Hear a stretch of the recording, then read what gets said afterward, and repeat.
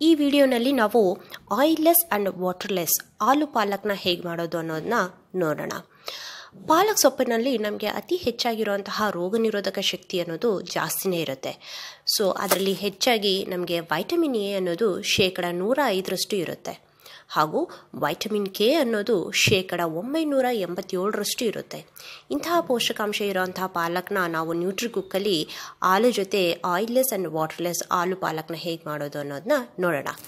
ಇದಕ್ಕೆ ಬೇಕಾಗಿರುವಂತಹ ಸಾಮಗ್ರಿ ನಾಲ್ಕು ಕಷ್ಟ, ಕಟ್ಟಿನಷ್ಟು ಪಾಲಕ್. ಸೊ, ತೊಳೆದು ಕ್ಯೂಬ್ಸ್ ಆಗಿ ಹೆಚ್ಚಿರುವಂತಹ ಒಂದು ದೊಡ್ಡ ಆಲೂಗಡ್ಡೆ. ಹೆಚ್ಚಿರುವಂತಹ ಈರುಳ್ಳಿ. ಎರಡರಿಂದ ಮೂರು ಖಾರಕ್ಕೆ ಬೇಕಾಗಿರುವಂತಹ ಮೆಣಸಿನಕಾಯಿ, ಒಂದು ಎಸಳು ಕರಿಬೇವು, ಒಂದು ಸ್ವಲ್ಪ ಕೊತ್ತಂಬರಿ, ಒಂದು ಸ್ಪೂನ್ನಷ್ಟು ಜೀರಿಗೆ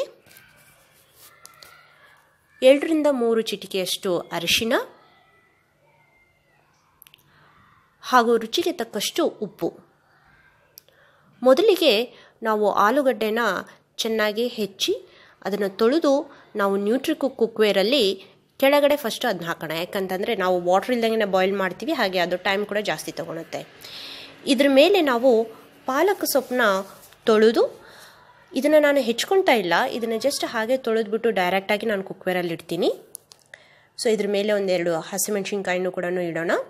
ಅದ್ರ ಜೊತೆಗೇ ಕುಕ್ ಆಗುತ್ತೆ. ನಂತರ ಇದನ್ನು ನಾವು ಒಲೆ ಮೇಲೆ ಇಟ್ಟು ಬೇಯಿಸೋಣ. ಸೊ ಇದು ನೀಡಿಲ್ ನಮಗೆ ಗ್ರೀನ್ ಕಲರ್ ಗ್ರೀನ್ ಎಂಡಿಗೆ ಬರೋವರೆಗೂ ನಾವು ಇದನ್ನ ಬಾಯ್ಲ್ ಮಾಡಬೇಕು.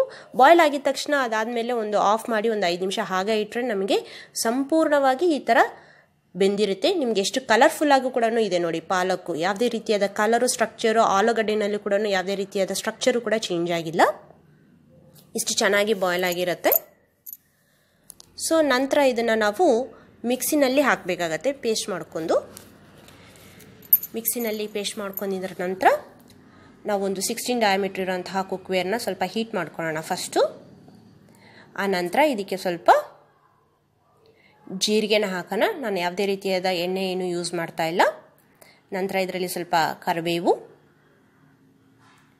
ಹಾಗೆ ಆನಿಯನ್ಸ್ನ ಹಾಕಿ ನಾನು ಇದನ್ನ ಫ್ರೈ ಮಾಡ್ತಾ ಇದ್ದೀನಿ ಸ್ವಲ್ಪ. ಅದಾದ ನಂತರ ಇದಕ್ಕೆ ಪೇಸ್ಟ್ ಆಗಿರುವಂತಹ ರುಬ್ಬಿರೋಂತಹ ನಾವು ಪಾಲಕ್, ಅಲ್ಲೆಲ್ಲ ಹಾಕಿರುವಂಥ ಪಾಲಕ್ ಮತ್ತು ಮೆಣಸಿನ್ಕಾಯಿ ಹಾಕಿರೋಂತಹ ಪೇಸ್ಟ್ನ ಹಾಕಿ, ನಂತರ ಅದರಲ್ಲಿ ಸ್ವಲ್ಪ ಹಾಲುನ ಬೆಂದಿರೋಂತಹ ಹಾಲು ಅದಕ್ಕೆ ರುಚಿಗೆ ತಕ್ಕಷ್ಟು ಉಪ್ಪು, ಅರಿಶಿನ, ಕೊತ್ತಂಬರಿನ ಹಾಕಿ ಚೆನ್ನಾಗಿ ಬಾಯ್ಲ್ ಮಾಡೋಣ ಇದನ್ನು. ಒಂದು ಸತಿ ಮಿಕ್ಸ್ ಮಾಡಿ ಚೆನ್ನಾಗಿ ಬಾಯ್ಲ್ ಮಾಡೋಣ ಒಂದು ಸ್ವಲ್ಪ ಹೊತ್ತು. ಸೊ ದಟ್ ಅದರಲ್ಲಿರುವಂತಹ ಉಪ್ಪು ಎಲ್ಲ ಆಲೂಗಡ್ಡೆ ಅಬ್ಸರ್ವ್ ಮಾಡುತ್ತೆ. ಅದಾದ ನಂತರ ನಿಮಗೆ ಐದರಿಂದ ಹತ್ತು ನಿಮಿಷದಲ್ಲಿ ತುಂಬ ಸುಲಭವಾಗಿ ಇರುವಂತಹ ಆಲೂ ಪಾಲ್